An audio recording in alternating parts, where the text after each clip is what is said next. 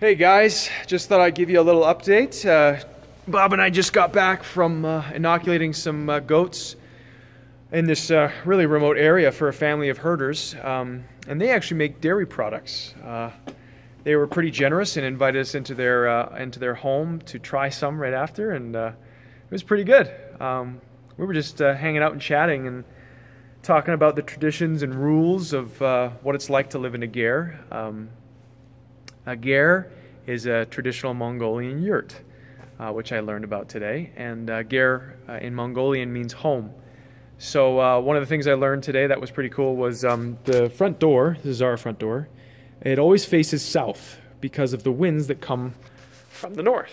Uh, so I thought that was pretty cool. And there's um, this big piece of cloth that comes over the top uh, just to protect again from, you know, rain or snow or whatever. And it can be opened up to let air in or, or closed if it's uh, bad weather, um, which is pretty cool. And the whole structure, I learned, can be built in two hours. So it's very portable and it's designed that way for a reason because the nomadic people uh, move around a lot. Um, not as much as you'd think.